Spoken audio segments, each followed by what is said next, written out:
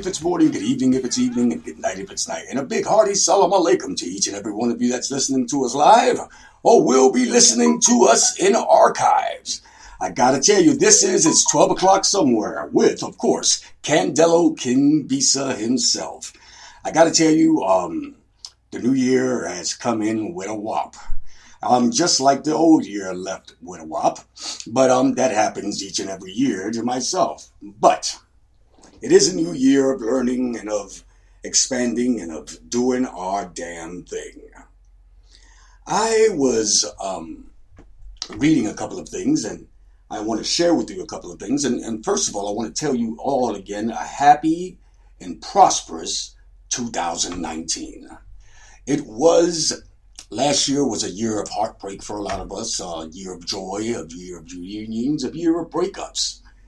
But all I wish that this year, this year and all the years to come are years of prosperity, love, growth, emotional growth, um, spiritual growth, and that all the things that you have planted seeds for will give you fruit and fruition. I, um, well, the first thing I, I want to talk about a little bit is, um, and I have to find it, of course, because, um, because the letter of the year came out um, on the second, I believe it was. Um, the letter of the year is something that we in the Orisha community um, look forward to, to, to, the next year. Um, is given out, well, now it is given out in several different places. Um, it is given out in, in New York, it is given out in Miami, it is given out in Florida, it is given out in Mexico. It is given out in, in Cuba. But I reign by the one in Cuba. And the two Orishas that are governing this year by the letter in Cuba are Ogun and Oshun. Um, there's a lot to be said about the year of the, of the, the, the letter of the year.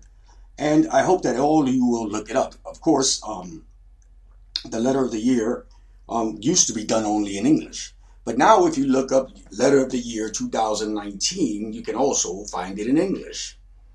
Well, I got to tell you that this year, by my interpretation and the interpretation of other people that have seen it, is the year of teaching.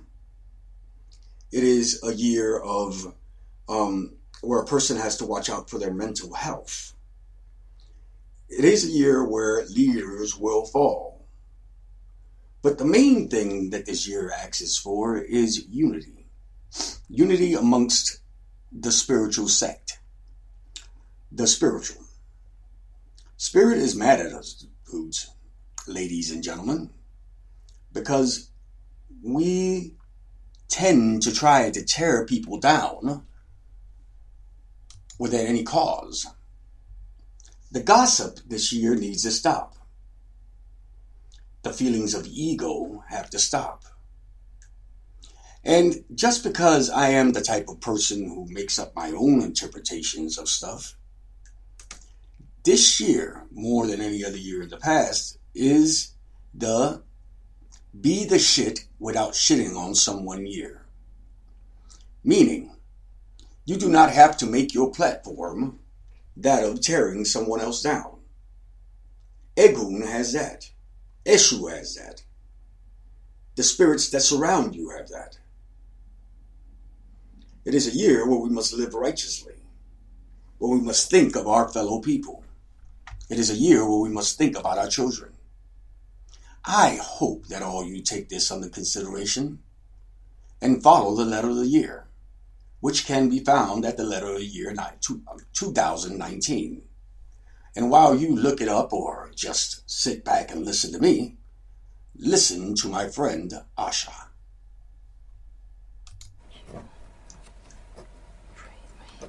So you treat me like a modern slave, Mr. Jailer. I've got to.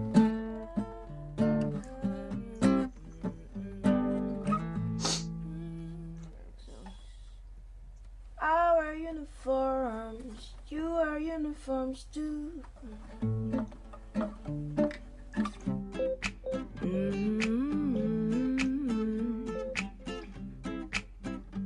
No, no, no, no. Oh yeah.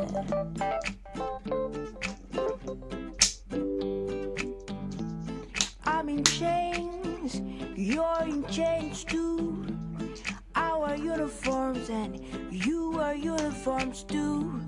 I'm a prisoner, you're a prisoner too, Mr. Jailer.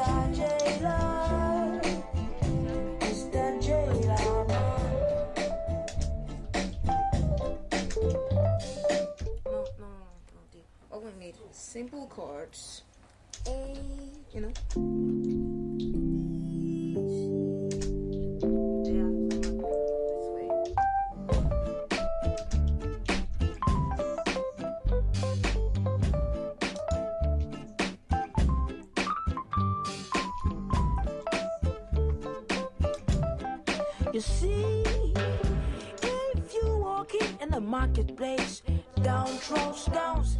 Even if you do, you just might hit one of your own. Life is not about your policies all the time.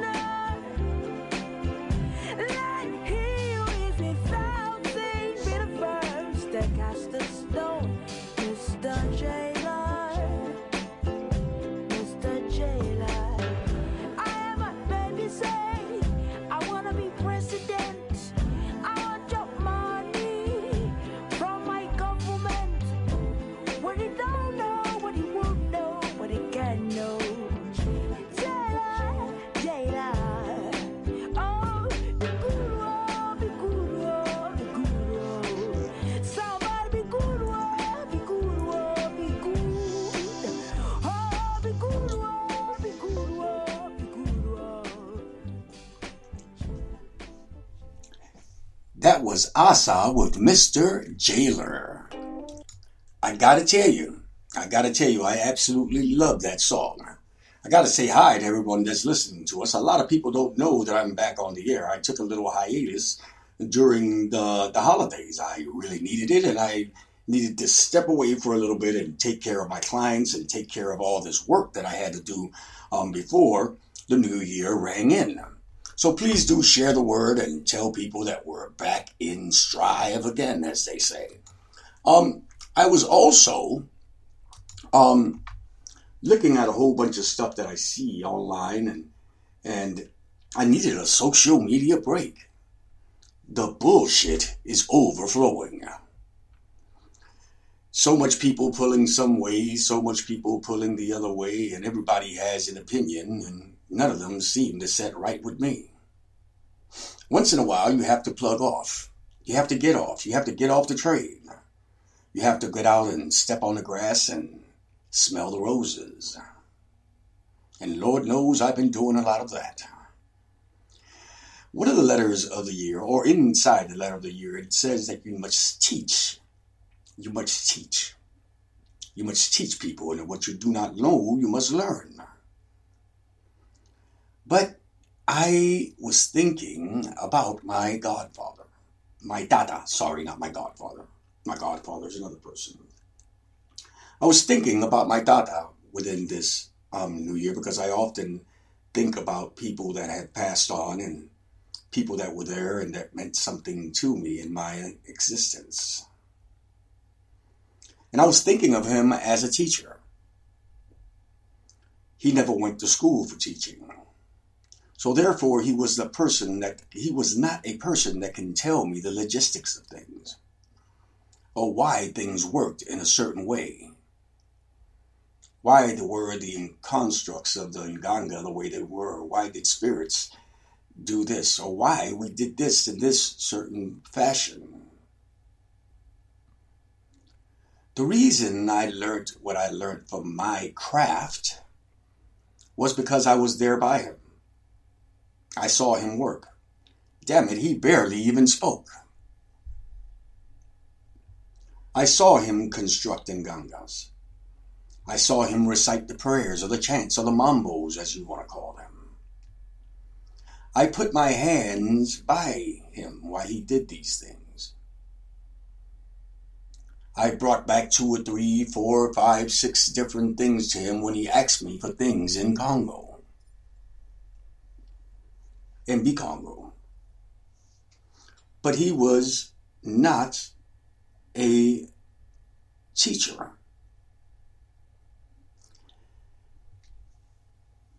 When speaking to someone years after his death and speaking with someone after all this, the person, which is very old Ngangulero and knows his stuff, he tells me the same thing. He tells me, man, my teacher didn't really teach me shit. I said, what do you mean he didn't teach you shit? Well, I was by him. I learned because I saw him and I followed his steps. And through trial and error, I did the things and, and I gained the confidence of my Mbungu and I gained the confidence of the spirits that were around me. I learned how to play with the objects that were given to me. And I was like, wow. You know, so these stories are far and few between, but they're nonetheless stories. There are things that go on. See, no one, not everyone is a teacher in this spiritual craft. But the apprenticeship, the apprenticeship is where it's at. When you sit down and you look at someone work, when they tell you, hand me this or hand me that. And when I was looking through things today, I saw a, a Masonic um, um, saying and in the Masonic saying, it said, secrets are put into the craft of the teacher. You will find your secrets in the craft, not in what your teacher says to you.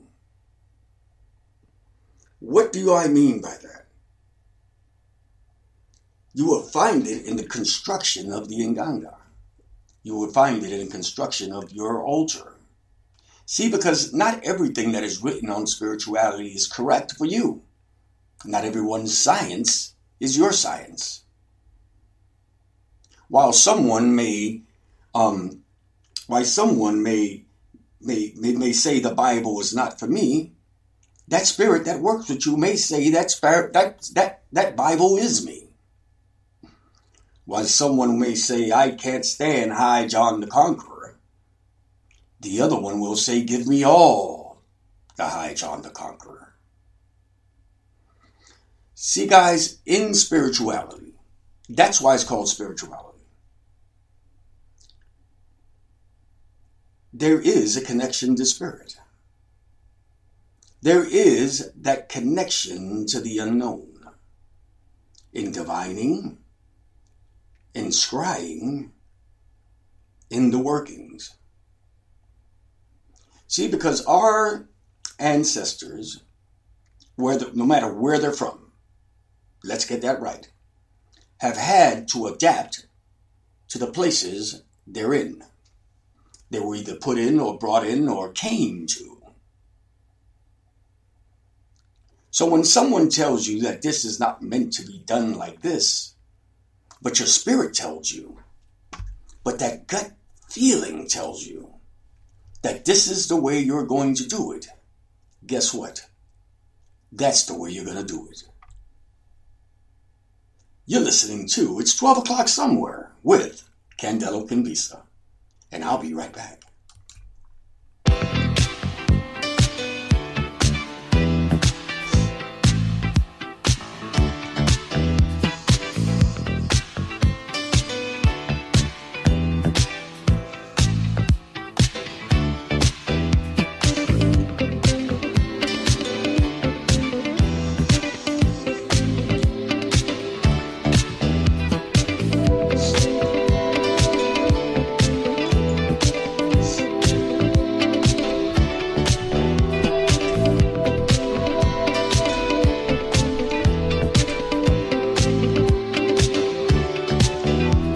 Flowers bloom in morning dew, and the beauty seems to say it's a pleasure when you treasure all that's new and true and gay. Easy living, and we're giving what we know we're dreaming of. We are one, having fun, walking in the glow of love.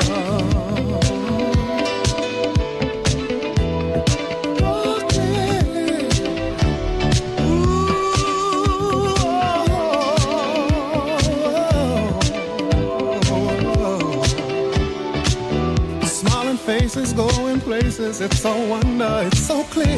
By fountain, climbing mountains as we hold each other near. Sipping wine, we try to find that special magic from above. As we share our affair, talking in the glow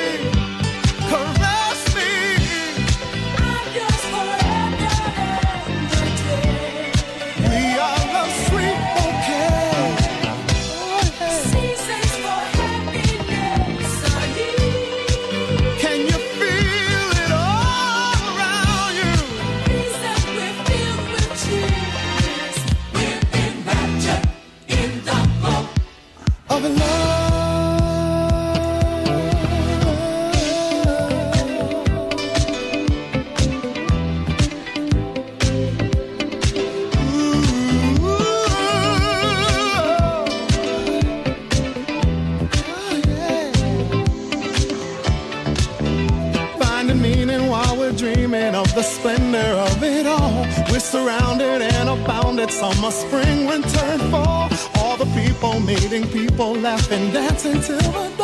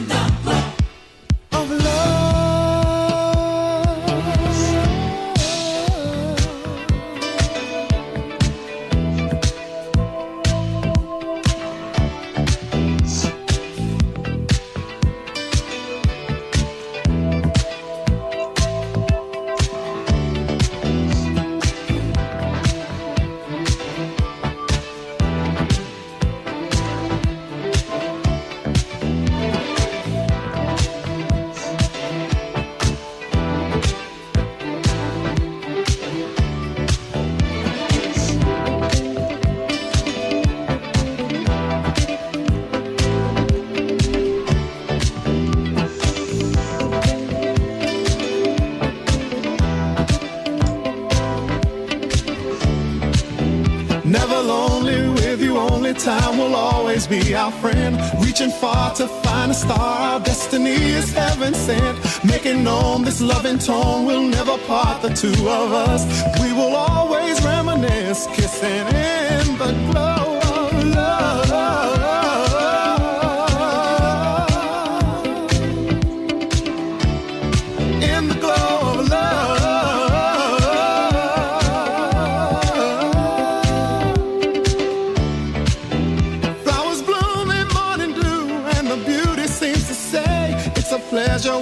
treasure all that's new and true and gay. Easy living when we're given what we know we're dreaming of. We are one having fun walking in the glow of love. All right, ladies and gentlemen, that was The Glow of Love from a group called Change, of course, featuring Luther Vandross. And you're listening to, of course, it's 12 o'clock somewhere with Candelo Kimbisa, and I am so happy to be here sharing my noon with you. For those of you who happen to be working out somewhere or going about your normal day activities, or maybe at your work desk, I thank you. I thank you all. And I give each and every one of you a salam alaikum. I tell you, and I ask that all peace be unto you. Well, guys, today's tough tarot of the day is you shoot your eye out. your plans, your planned course of action at this time is reckless, dangerous, and unnecessary. You're only behaving this way for the external validation from your peers. The glory you perceive will be short lived and unfulfilling. Consider another choice that reflects your true desire.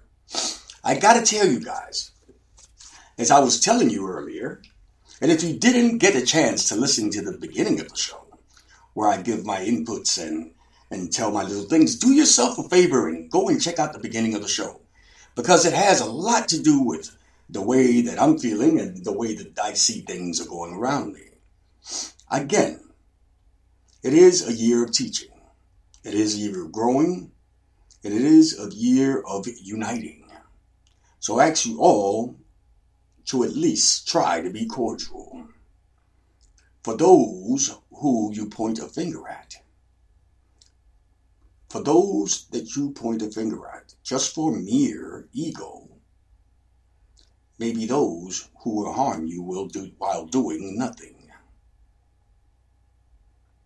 while sitting back and being righteous, while sitting back and trying to do the right thing. Often people attack people on their past and on their supposed mannerisms, likes or dislikes, or the people that they hang around. In due time, if the people that they hang around are so called bad people, they will find out. This is not the year for someone to hold on to old baggage. This is the year, as I said earlier, of being the shit without shitting on someone else. Well, guys, I gotta tell you that everything in and around the Munanso is going as planned, but everything in and around the Conjure Galas is also going around as planned. We already have dates set up for Salem, Mass. We have dates set up for Omaha, Nebraska. We have dates set up for, of course, our flagship, which is um, um, Denver, Colorado. But do you know that we also have plans for Oklahoma City, Oklahoma, and several other places? At the end of January, Hoodoo Sen Moise and myself will be visiting um, Conyers, Georgia, right on the outskirts of Atlanta, little place called Wicked Mojo. We will be there on Sunday giving classes and giving readings. So if you happen to be in and around the Atlanta area and you want to see Hoodoo Sen and my Hoodoo Sen Moise and myself, do yourself a favor. Give us send us an email, send us something, or just go by Wicked Mojo and check us out. I also got to send a quick shout out to everyone that's listening to us today. Our chat room filled up a little late because people didn't know I was going to be here. But I want to say hello to Miss E.F. Still. I want to say hello to Miss Chantel. Chantel, sorry. I want to say hello to Mr. Obatala. Miss Erica Pratt, who I haven't seen in quite a while. How are you doing, sister? I also see Miss Rebecca Obersman. I also see Miss Maggie. Ifa Ibeyu just came in, and Ifa Ibeyu is going to be at the Conjure Shop in Omaha, Nebraska in February. So, guys, if you have not seen her teach, if you have not gotten a reading from her, and you happen to be in and around Omaha, Nebraska in February, go on over to her page. Go on over to Izzy McDermott's page and go on and check her out while she's there because if you miss out, if you miss out, you're going to miss out on a wonderful experience. We also have two new, brand new additions to our Conjure Gala. Yes, we have two strong, beautiful sisters that are going to be there giving classes, which I will announce as we get a little bit closer. We already have dates, we already have things, but I just do not have everything in front of me so that I can, so I may relay the message to everyone that's listening to me or that will be listening to me in archives. When we get back, of course, we're going to read from the book The Adventures of High John the Conqueror by Stephen Sanfield. I got to tell you that you're probably listening to stuff you haven't listened to on It's 12 o'clock somewhere in quite a while. Some things are repeated. But when I got back and I loaded up today, I had no playlist. So I had to manually put in all this music today. So hopefully you guys are liking what I'm playing. And if you're not, well, this is grown folks music. I'll be right back.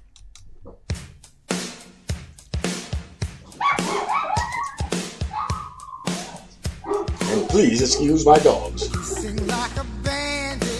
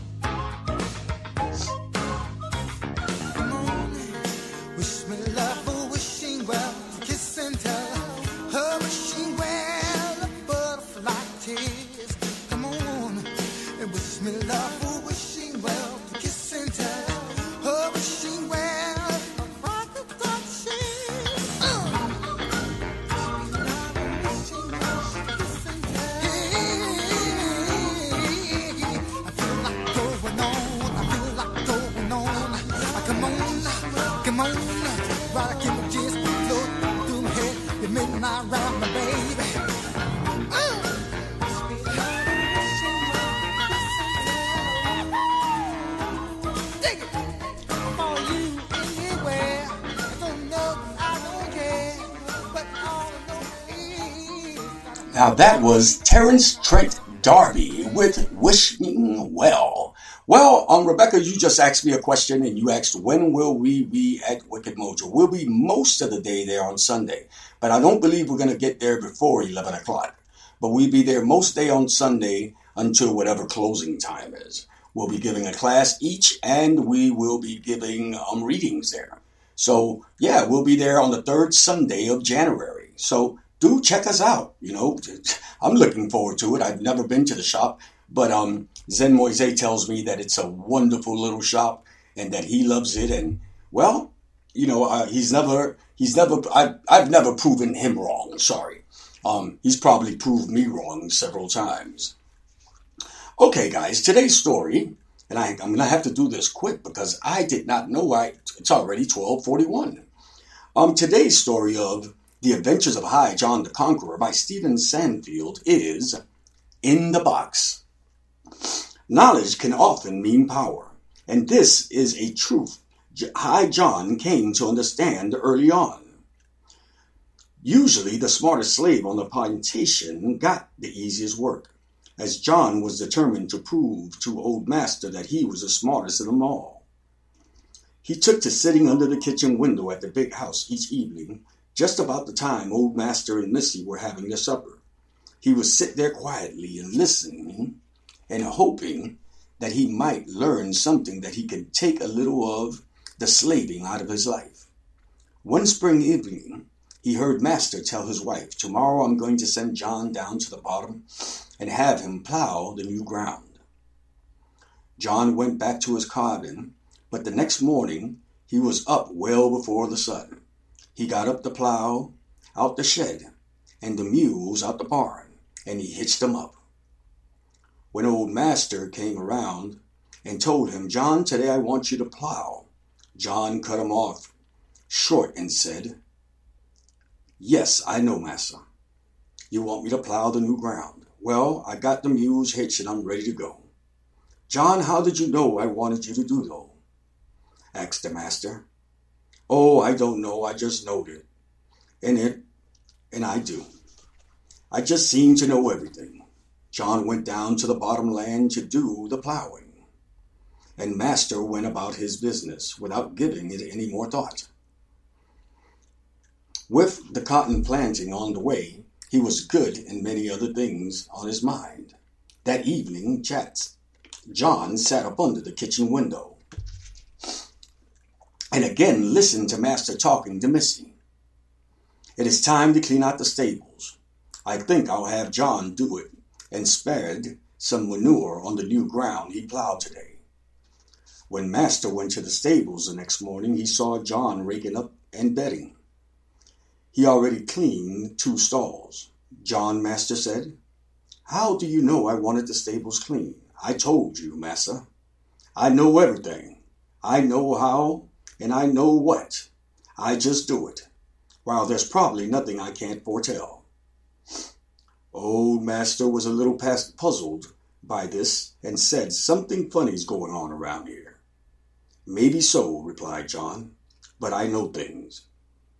When I get to the stables clean, I think I'll haul the dirty straw down to the new bottomland.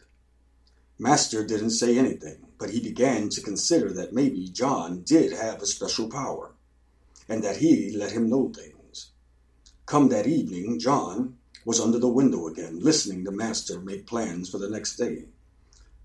The barn leaked a lot during the last rains. I'll think I'll have John fix it. By the time Master got up at the barn in the morning, there was John carrying plies of wooden stakes up to the ladder up to the roof. John, he said, you know I wanted this roof fixed, didn't you? I sure did, master. I sure did. I keep telling you, I know everything, and I can see everything. There is nothing hid from me. John spent the day repairing the leaks. Master rode off into the neighborhood plantation to meet an old farmer in, in those parts. After they talked about their crops and their problems with the slaves, Old Master began to brag about John. I got a slave down in my place who seems to know everything. Everything. Every day I go out and tell him what I want to do, he's already doing it. The others laughed. You must be joking, one of them said. There isn't a slave in the world who is that smart. I'm not joking, said Master. My slave John is that smart. He knows everything, he sees everything, and he can't be fooled in. All my days, I've never heard of such a slave. Couldn't outsmart, boasted one of the men, and everyone agreed with him. You can't outsmart John, shouted Master. You're getting him angry with the word being questioned, and furthermore, I'll bet on it. There was more talk and more arguing before old master ended up betting his whole plantation, his money, his slaves, and everything he owned that his friend could not fool John. Well, come by the place tomorrow and have something your slave can't tell me about, they said. Master felt sure that he invited the whole big party the next day. John had proved to him that he knew everything, and John would show the others. That evening, Master was telling his wife about what happened, and John sat there listening. They will be coming, they will be coming over at noon, and I thought I'd put a nice spread out on the lawn. John heard that and headed back to his own cabin. He had figured that all he that was all he needed to know. And sure enough, the next morning John was setting up tables and chairs in the big house. Oh, good for you, John, said Master when he came out. You know you're going to have a grand party today, don't you? I told you, Master, I know everything. That's good because I made a large bet on you. A bet on me? asked John. What kind of bet? Come on, laughed Master. You're trying to fool me. I know you know everything. That's just what I bet my friends. John didn't say a word because he knew what to say, but Master continued. I bet all I own on you, John. I'm depending on you. If you win, I'm going to make you a very rich man. But if you don't, you're going to be one dead slave.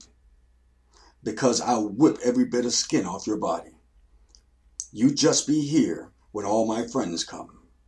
John knew he was in trouble, but he didn't know what kind of trouble. I've outsmarted myself this time, he thought. I wanted to make he wanted to make himself scarce but there's no way he could do that. Before long, Master's friends and the neighbors began to arrive. They brought their wives and children and some of their slaves too. They wanted everyone to see how they were going to make a fool out of John and his master.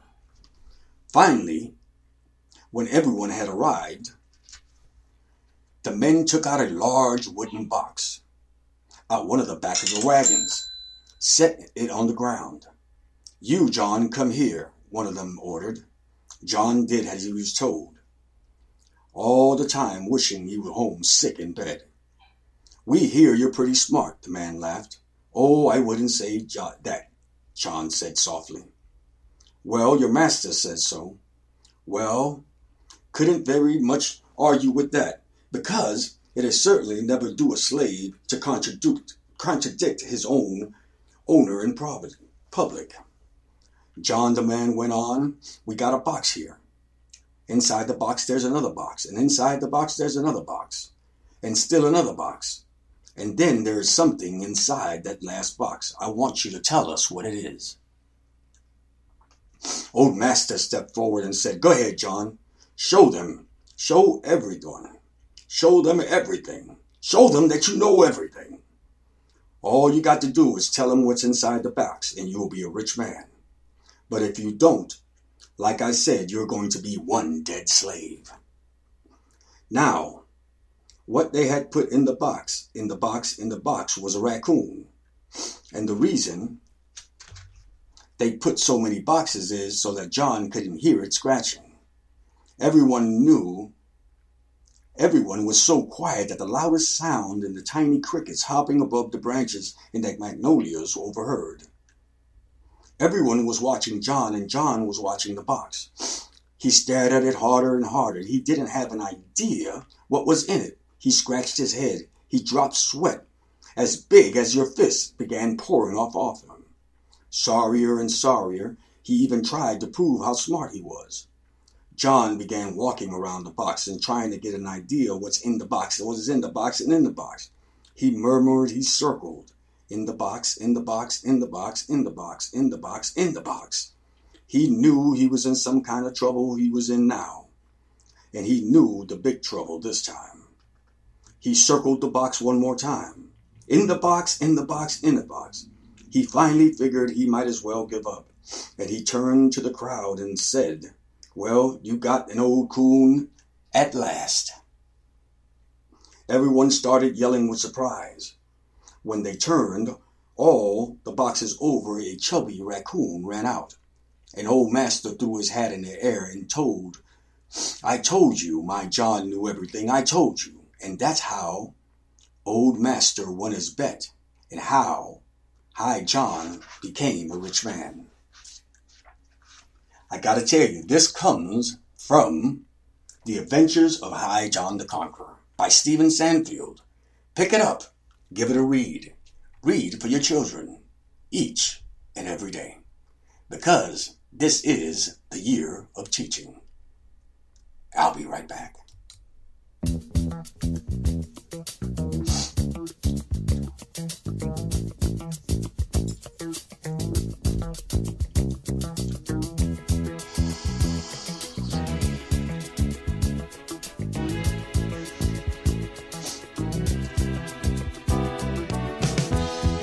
I wake up in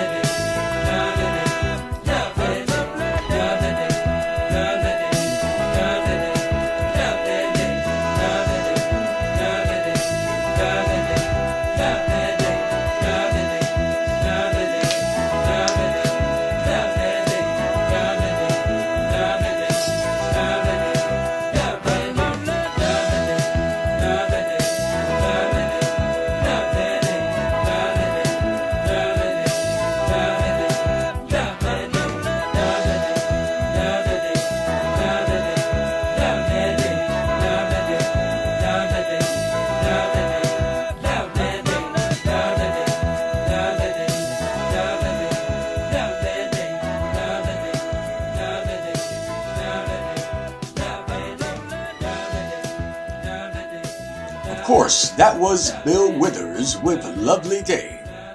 I hope that you all have a wonderful day. And those of you who did not catch the beginning, I hope that you go back and listen to it in the archives. I got to tell you, I've been pretty busy because I've been putting on the layers of things because I am writing a book and I will be a published author by the end of the year. And yes, I do have a publisher. I tell you, this is going to be a year of transformation and of teaching. I hope that each one teaches one. And what you don't know, you'll ask.